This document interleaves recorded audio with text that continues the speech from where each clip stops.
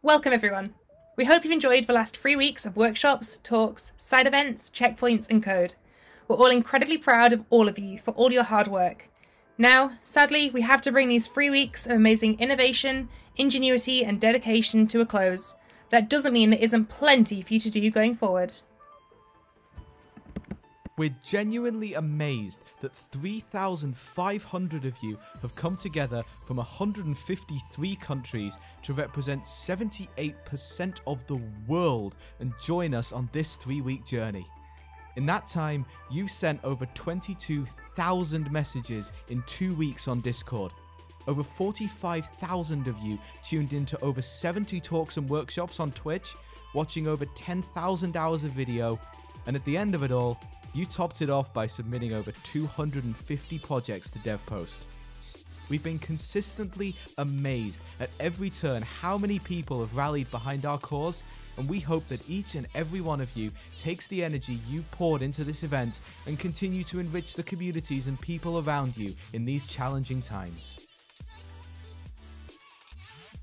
While we showcase the incredible solutions you've all come up with, we'll be spending the next few days judging all submissions. We've had some absolutely amazing submissions, and we really want to show off some of the projects that you've been working on in the last few weeks. So we'll be live streaming all of your demo videos in two separate demo fests. The first one at midday UTC on Monday the 13th of April, and the second at midnight UTC on Tuesday the 14th of April. So you can see what everyone else has been up to and the problems they've solved. We're really excited to be able to show off the amazing things you've done on a worldwide stage. It's going to be awesome. Running an event of this magnitude for this long wouldn't have been possible without our incredible sponsors. I know we've mentioned some of them in the opening talk, but unlike any other event we've worked on, we've actually gained a lot of new sponsors since then who have offered tons of support to help you solve these problems to combat COVID 19. We're incredibly thankful for all their support, and you'll be hearing more from all of them at our award ceremony, which you absolutely do not want to miss. We'll be live streaming it right here on Twitch on Wednesday, the 15th of April at 7pm UTC and we're massively looking forward to seeing all of you come and celebrate the amazing projects you've built with us. And last but certainly not least, thank you all for coming along with us on this incredible journey.